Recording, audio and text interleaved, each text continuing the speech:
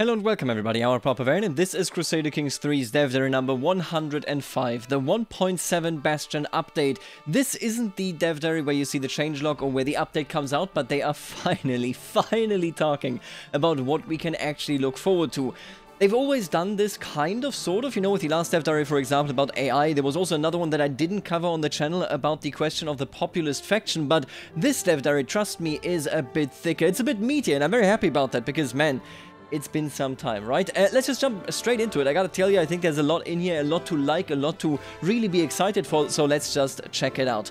Today we'll talk a bit about the free 1.7 Bastion update and what new things it will bring to the game. Today we will not be talking about Redacted, which will be released together with the update. This clearly to me sounds like there will be a DLC with it, meaning we actually are entering a bit of a phase of a more regular DLC schedule. Again, you know, of course, whether you enjoy the DLC itself, who knows? You know, we know nothing about the DLC as, as, is, but I gotta tell you, with how far DLCs were apart so far, it is quite refreshing for me personally to see something this year. I was worried that we'd see something, you know, in 2023. And now they already talked about the AI, of course, in the last Dev Diary. I was quite happy about it. I think many were quite happy about it. The one big thing, and I also told them about this in the Discord forum, there, there's a forum there now where you can leave reports and such. And I told them that, you know, when it comes to the Holy Wars, I would like some interface work there. But everything else was really promising. And then they also talked about the populist faction. They buffed it, but they also gave vassals a better response to it. So I'm quite excited for that as well. And now here we have the actual free upcoming content. Let's check it out. So first, we have the character memories. While the characters often get up to quite memorable things in our games, there's, uh, there has up to now not been a way to keep track of exactly what, when, and with whom each character has had a particular experience. What we've done in the new update in order to show more clearly how alive the game world is, is to introduce memories to characters. Characters will remember things that happened to them, from important things like the births of their children, important battles, deaths of close ones, and succession, to more mundane things like the event interactions with other characters during their childhood.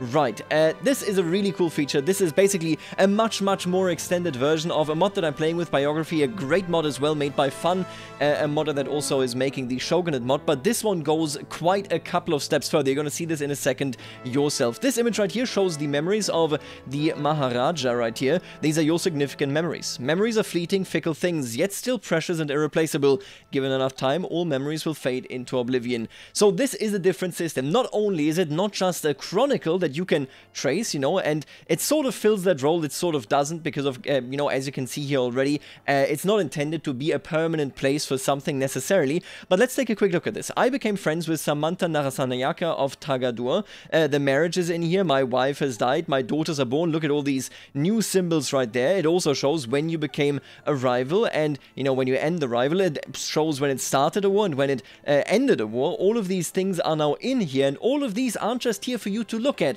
all of these actually have a purpose. Let's explore that. At any time, you can view the memories of your character as well as non-private memories of other characters. So basically secrets and, you know, for example, who they love, that sort of stuff is not accessible from the outside, which, again, not a chronicle, right? This is more there so that you can see from your perspective what other characters were up to and what you were up to and, you know, basically helping you in role-playing. This lets you quickly get an idea of not only what a character is like, but also how they got there. One can think of it as a feature somewhat similar to the character history that we had in EO Rome many years ago.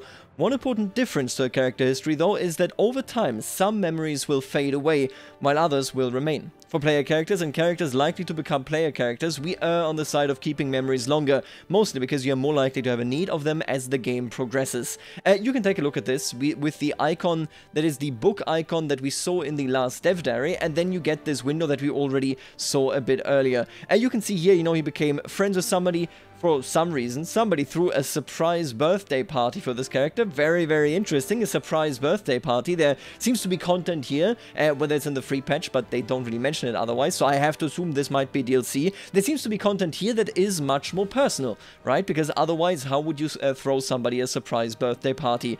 Then you see right here a picnic with Cutulun, um, my rival died in her sleep, so the actual death reason is even written here. My mother Sati died of old age, also written here. My father Yuchidai drank himself to death. Sipelma and I became rivals. My daughter Kutulun was born, and so on and so forth. Uh, my sister Doke is drowned right here, and you can see this goes 35 years back, so that is quite the amount of time. Very happy to see this, and I have to tell you, no matter how I look at this, uh, you need to remember that this isn't just a chronicle, because I was going through this and I was uh, saying to myself, okay, Uh, obviously, this is a great feature. Biography is already doing this, but what makes it special? And we're going to see that here in a second. Memories are not only there as a log for the player to enjoy, however, the new system allows us to make use of memories that a character has both to trigger content and to make use of uh, use of in an event. This means that you may now find memories used in content that previously had to be vague. An assassin might not actually uh, might now actually cite a specific slight you committed against their employer, for instance. Also uh, what this also means is that we are now able to create new content that is based entirely on your character having a certain type of memory or sharing a memory with another character. I love this. This is this is why I said earlier on this no matter what you look at uh, how you look at this this is a, a, million light years further than biography was taking it as a mod. We're looking at a situation that I really really love. You know, when I do my let's plays for example, which will continue by the way, it is now final after PDXCon. My apologies if you wanted it before, but I just got so much stuff to do. Um but anyway, if you look at my let's plays, there are many many many comments all throughout these video series, um, where people basically say, I wish I could play this way, but I can't keep track of all this stuff. It's impossible to sit down and always go, oh, wait a minute, I remember this third cousin removed, you know, what, what is happening? Um, I think that is a problem that many, many people fundamentally face, and that I also face, except I can sit down and straight up just pause the game at the start of a video and just go through everything, right? That is something that most people don't do, because when they play the game, they play for, for example, three hours straight. I uh, obviously, you know, actually record it in an episodic format, making it so that I have the time between episodes to sit down and analyze. This tool right here, no matter how you play, no matter what you do, is very useful for you, uh, for you, to remember things, but much, much more importantly, the game will now actively remember, or remind you, I should say. For example, you know, uh, if I remember one of my greatest enemies, you know, uh, let's say, for example, we're talking about the Azna the Dragon, the traitor, the king of Aquitaine, I knew exactly who that man was, what I did for him, what he did to me, how he betrayed basically everybody in the realm. I knew that, but the game wasn't aware. Now, the game will be aware. The game will completely remind me that, you know, maybe he ate one of my relatives, that I challenged him to several wars, that I fabricated claims, that I really acted harshly against him. I remind, uh, I always remembered this and recalled it when it came up in gameplay, but I had to do that in my mind. That is a quintessential part of that series. With this, there's a much higher chance now that you don't have to remind yourself of what a character means to you, but that the game will do it. The fact that you can look at this and exactly know what the character was up to is really good. But the fact that these things will actually be utilized in events such as Assassins or if you have a similar memory and so on and so forth is absolutely excellent. This is a big, big change. As a role player, I'm very, very happy. You know, I, I, haven't been, I've been slightly discontent. My discontent has been brewing, right? We haven't heard anything looking forward. We got no news whatsoever. It was frustrating, and it still sort of is, but my god, this is content right here. I'm very happy about this. Let me definitely know what you think about the fact that now you don't even need to necessarily check the histories of these characters, but instead the events will actually stick together loosely by saying the reasoning here is of course X event and Y memory. Very interesting. Uh, here we can see just an exported memory list. I don't want to highlight too much. I just again want to highlight that the actual reason for death is mentioned here as well. I could for example imagine something like, hey, my mother died in childbirth and then one day, you know, uh, I don't know, somebody comes along and says my wife also also died in childbirth. It's a difficult time, but you know, we must move on. And then you might have an interaction with them, you might make a friend, you might make an enemy, and so on and so forth. And it's not just that you made an enemy because you could, you made an enemy because you shared something. There was something that connected you.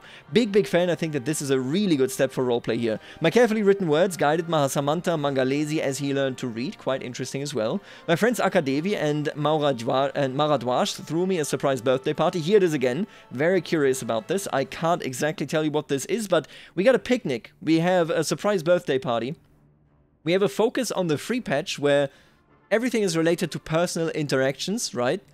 If I had to guess, I would say that the next flavor pack is something that is very much focused on personal relationships. That is my personal guess anyway. Um, right, this list is very long. You can see this goes from 1299 all the way back to 1246. So you can see that these memories are indeed kept for quite a, a while. And then here we have the relationship reasons. Uh, we're just going to go through the images and then here comes the text in a second. This is your friend. You discuss subjects of profound interest to Samantha Narasana, uh, Narasanayaka at Samantha Narasanayaka's feast in Tagadur. So it directly shows you the occasion and it shows you the genuine reason why you turn into friends. And of course, maybe even more importantly, you now have this icon right here so that you can very, very easily recognize your friends wherever you are. This is Dux Gregora's friend. As children, Dux Gregoras got to play with with May Antonio's spinning top. Isn't that nice? It actually directly connects. Am I wrong? It doesn't it di directly connect to a to an artifact. Quite interesting. This is Emperor Rainbow's, uh, Rainbow's friend. Emperor uh, Rainbow III and Count Alba bonded over a shared hatred for King Yemeno III. Would you look at that? So you can even have a third party in here by basically saying, hey, you know what, we hate that guy and that is what connects us. Maybe we want to plot against him going forward. This, seriously, I, I think it's difficult to, to really grasp, but or to really articulate. But this, in my opinion, is a big step forward for CK3 roleplay as it is. The biography mod for fun was so, so good, or it is so good. I'm still, of course, using it, but we have to keep in mind, yes, that biography mod is outstanding, but it doesn't directly connect anything in events. You have to do that in your head. Here, they are going one step further and it is a big, big leap. Another addition coming with this update to further open up how things are connected in the game's world is that we have wanted to make it clearer which characters are your friends, enemies, nemesis, etc. As well as clearer why a character has a special relationship with that particular character to begin with. This is accomplished by a new set of icons in the interface to highlight relationships. Additionally, whenever a relationship is formed in the game, notif the game notification will now not only say that it happened, but also why it happened. The reasons for relationships will then always be visible in its tooltip, clearly telling you how they become friends, lovers, best friends, nemesis, etc. In cases where a more advanced relation, such as best friend or nemesis, exists, we will show the reason for both the basic relationship and the more advanced one. So a best friend will keep track of both how you originally became friends and when you actually became a best friend.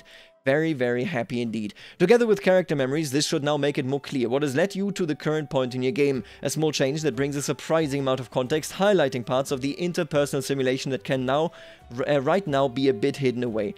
Huge fan. Seriously, this is, man, we hadn't heard of anything in such a long time. I was worried maybe we'd get something in like January, February, something like this, but boom all of a sudden this comes along and I think this will actually be a game changer uh, when it comes to how you can approach the game, to how accessible the roleplay nature of the game will be, because now the game will do the legwork rather than you do it, you know, between quote-unquote episodes of gameplay. Big, big fan of this yet again. Uh, this is King Imra's rival. King Chiyoba languished in King Imra's prison, and then this is Maharaja Jaipal's rival, a rival, Kumud Naryan Nuwakotakuri eloped, provoking Maharaja's Jaipal's ear, uh, ire. Very, very cool. Examples of rivalry reasons for an un uh, ongoing game. So basically here somebody died and here they eloped and that is something that they didn't like at all. Now what I gotta tell you is actually, man, um, I, uh, I hope, I gotta hope that the, I don't think the AI currently elopes. Do they use the elope scheme? I don't think they do. I, I do not believe that I've ever seen anybody elope in my entire life. If they use it now. I think we're going to see something personal. I think we're going to see something that is, you know, that makes people much more tightly bound to you, really meaning that each character's life is much more unique because your sort of network of contacts will be much more interesting and tighter than it might currently be. Very interesting. Uh, revamped childhood events. So as you can see, we're not at the end yet. The stolen keg. Look what I found, Peter. An entire keg of mead. I take, I took, oh my god, what am I looking at? Is this France? Please stop conquering North Africa. What are you, uh, right. I took it while the cooks weren't looking. Maud says to me, a devilish look in her eyes. What are you waiting for? Let's drink it all before anyone notices it's gone, she exclaims. A tempting offer, but is it right? A childhood event where you can get diligent, gregarious, or temperate. Child's perspective. Right. Look at that. So that is quite... All of these are pretty neat. Obviously, here gregarious actually comes with drunkard, but man, that could fit a character. If they start drinking this young, Interesting. Um, we have the stolen cake, then the continue. Oh no, this is not a continuation. This is from the angle of the person that is the guardian. I caught these two hiding in the pantry. A very irate cook shouts at me, dragging my ward Peter and Maud in tow. They stole a whole keg of meat and drank most of it. Now look at them. Drunk like lords, both of them. They can barely stand, she says angrily. It seems as if my ward has fallen to peer pressure, but at least the uh, he and Maud seems to be thick as thieves. So this is between diligent, gregarious, and temperate as well, making it so that there's no change here, I would argue. Uh, this is the event with straight up the, the same traits, except the Guardian gets to decide. So yeah, that makes sense at the end of the day, I guess. Uh, but this is a new event, as you can see. Another thing that we wanted to revisit in order to improve and uh, on how we deal with characters in the game world is the re revamping of all existing uh, childhood personality events, I can't read, as well as the addition of 12 new ones. This will significantly alter what personality traits com uh, combinations are likely to appear and will open some uh, and will open up some combinations that were previously impossible, simply due to how the old events for growing up worked. The ambition apart from adding more content to the childhood period is to have the choices you make as a guardian be more interesting, avoiding any easy best choices in any single childhood event. I think also that that makes perfect sense. You will, in Grand Strategy games, I think you will always have optimal choices, this just fundamentally exists, but I think from a design perspective, you ought to sort of avoid them. So that even if you have somebody that isn't a role player, directly might make a decision that fits into role playing, you know, just because it is also the optimal choice from their point of view in particular. If something is very, very close, you know, to what is optimal, then I think people will differ in what they pick. I wonder whether they got stats on, on how many people choose which option in whatever event. I doubt it, but it would be interesting to see, I think. The new trade combinations that will be pitted against each other are, so here you have the full list, you can see they are usually fairly comparable. For example, Diligent, Gregarious, and Temperate, they're all good, although Gregarious had a chance, it seems, uh, to become Drunkard as well. Then we have Brave, Stubborn, Wrathful, we have uh, Lustful and Chaste, the, of course, direct opposite right there, Just, Greedy, Callous. All of these can be utilized in some interesting way. Uh, all of these are also truly terrible, uh, ex except Paranoid, I guess. But yeah, they, they sort of mix it up in a way, I think, where they want to hide which one is the optimal option, so that you're in a position of saying, hey, you know what, wait, wait a minute, this time around I'll choose A, the next time I might choose B. That makes perfect sense to me. A lesson in charity. This is from the child's perspective. Look at the poor and the downtrodden, Adeline. There are many of them, and some are truly in need. Others are mere charlatans seeking a handout. Suffragan, uh, suffragan Bishop Bachmann explains to me, bringing out a small purse of gold. Who amongst them are the most deserving of our charity today, my dear girl? he says, handing me the purse. It seems as if Bachmann wants me to hand the gold to those that need it the most. They all deserve it, we must, uh, we must have more to give. The sorcerer? No, this uh, peasant over here. Wait, maybe. So this is fickle, this is of course gregarious, and, uh, sorry, this is, uh, this is of course generous, that is what I meant to say there. None of them, they are all low-life scum, that would be arrogant. Uh, quite interesting, honestly, here. Uh, I personally would probably regularly prefer this one. It does give you stress as the child, though. Interesting, interesting thought indeed. And then here we have the other side of it, but as the guardian. Bachmann brought my daughter Adeline to the market today. Adeline was to hand out alms to the poor and needy, to learn about charity and a ruler's plight to the less fortunate.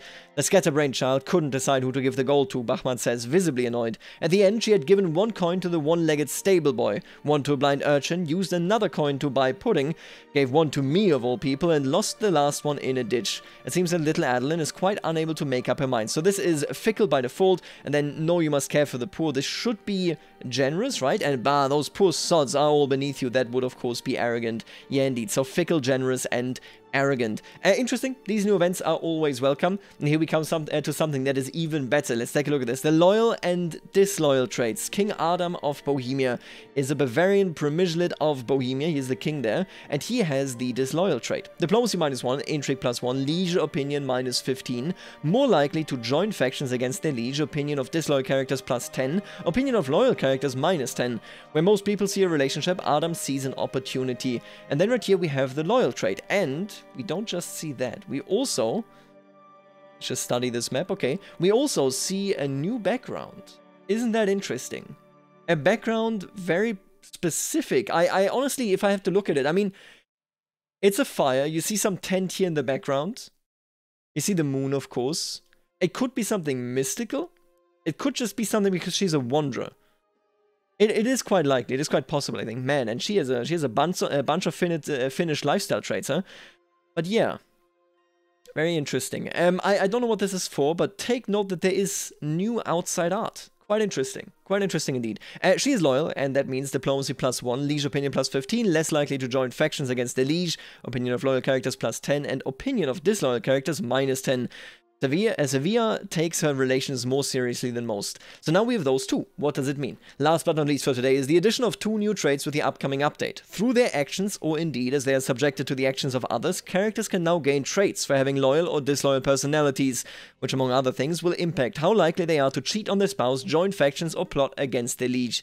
The traits are also integrated as sins and virtues and can be more valued or common depending on cultural traditions. Huge fan. Um, you could have a network of characters that are disloyal or that are loyal that then start alliances up with one another, force one another into factions, and all of a sudden rise up against you, or basically defend you. Somebody uh, in on a, on a different platform said, could this lead to a faction rework? Man, I would love that. I would love that so much if we genuinely got a faction rework. I don't know. It would be great if, for example, there were factions where disloyal characters would push towards rebellion, whereas loyal characters say we would like to negotiate instead, right? Either way, I'm very interested for what is to come. Uh, as you can see right here, this was all for today. The new update will also bring new bug fixes, event pictures, and things that I've not brought up today, but this was a sneak peek of what is to come. Next week, PDS Noodle will be talking some more about what the future will bring. Please. I am so ready for some sort of announcement, for some sort of uh, content, feature, teasers, whatever, right?